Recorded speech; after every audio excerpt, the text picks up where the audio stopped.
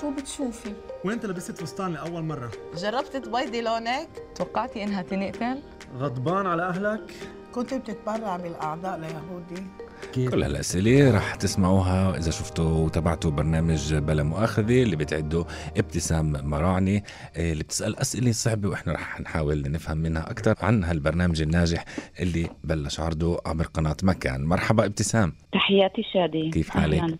الحمد لله تمام. يعطيك العافية على الشغل الحلو أول شيء الله يسعدك يسلموا لنحكي للمستمعين اللي مش فهمانين عليه لو بعد ما حضروا الحلقة بلا مؤاخذة شو مضمون هالحلقات؟ إيه المسلسل بلا مؤاخذة معد من 12 حلقة. نعم. إيه كل حلقة عمليا بتتعامل مع مجموعة معينة جوات مجتمعنا العربي. من ضمن الحلقات اللي في عنا ثلاثة اللي صاروا مبثوثين على التلفزيون والتلفزيون وب... إيه كان عندنا أول حلقة سمر البشرة الحلقة الثانية كانت عائلات المغدورات اللي بيحكوا عن بناتهم اللي انقتلوا والحلقة الثالثة هي المثلية الجنسية. نعم ابتسام في و- طبعا كتير برامج من هالنوعية بس آه، بمجتمعنا ممكن آه، أول مرة بنشوف هالصراحة ممكن أو هالتناول الجريء آه، والأسئلة الجريئة مزبوط؟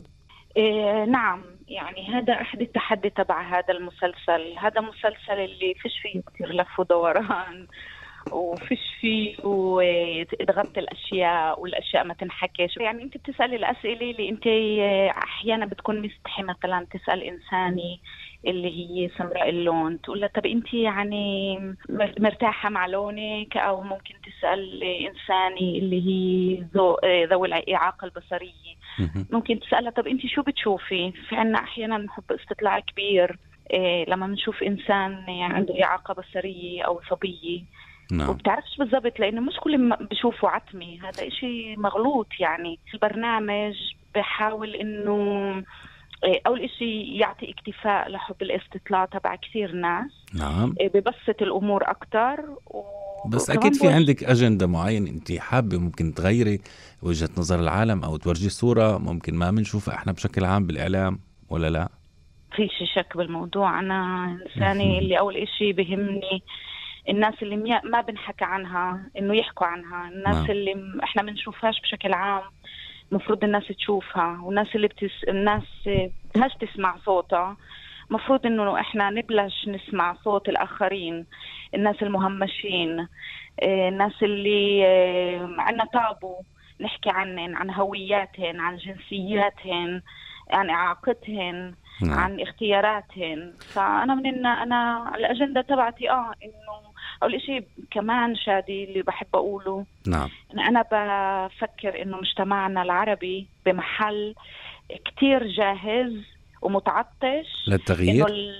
آه، للتغيير وقبل التغيير إنه تنحط له مراي أها. آه، لنفسه يشوف نفسه مين هو. صح. إيه، بتوقع إحنا عايشين بواقع اللي كمان جوات دولة إسرائيل اللي الأجندة تبعت فرق تسد اللي مم. كلياتنا مفكفكين والسمر لحال والإسلام لحال والدروز لحال والديانات متفككه وهدول بيحكوش كتير مع هدول وهدول بفكروا غير شكل عن هدول. نعم. وحط كمان قضية الجندرية النساء والرجال. كان كتير أشياء بمجتمعنا العربي اللي الظاهر ما تعاملناش معاها ككل. من خلال متابعتي شفت إنه في كتير كمان آراء حلوة بس في كمان كتير هجوم. كان متوقع لإلك على بعض الحلقات؟ الحلقة اللي توقعت يكون عليها هجوم كبير هي المثلية الجنسية. أنا مع النقد. أنا مع إنه الناس تبدي رأيها.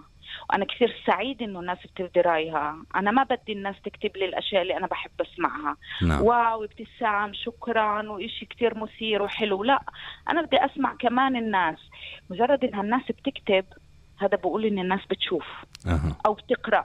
نعم. إيه بس معظم ال ال يعني التعليقات بتكون أو مسبات أو إهانة هالأشخاص اللي ظهروا معك في البرنامج. هل هن كمان مستعدين آه، لأنه هيك يكونوا آه، مكشوفين على الناس والناس بتقدر تحكي إيش بدها عليهن؟ يعني إيه، حضرتيهن قبل؟ المشاركات والمشاركين أنا معهم بتواصل دائم. إيه أنا دعميتهم وأنا انسان اللي بقعد على الفيسبوك وعلى آه، كل ال- المحلات اللي فيها بينعرض الفيلم بكون تجاوب وتعقيبات أنا بعقب.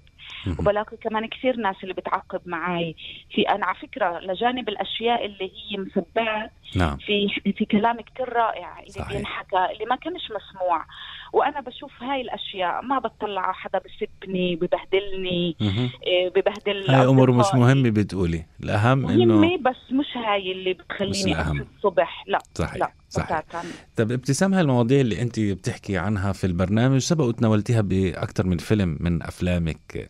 في آه، أشياء تغيرت؟ يعني أنت من زمان بتقدمي أفلام وثائقية طبعا آه، بتحكي عن مجتمعنا. في تغيير بالمجتمع أنت شايفي لأنه هالمواضيع كمان عدتي وتناولتيها ببلا مؤاخذة. أول إشي أنا 15 سنة, بهذا آه. الحقل. لنذكر 15 ابتسام الناس أي أفلام عملتي. بذكر أنا آخر واحد سجل أنا عربي.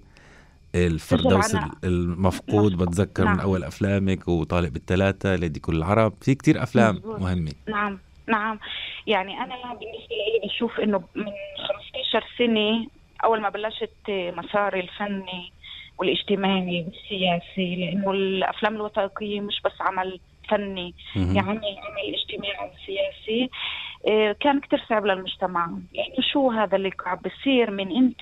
شو اللي عم تعمليه؟ اللي بتنشر الغسيل برا؟ اتهموك بهالاتهام؟ آه طبعا. مهم. أنا انسانه بالنسبة لإلهن ليش بنشر الغسيل؟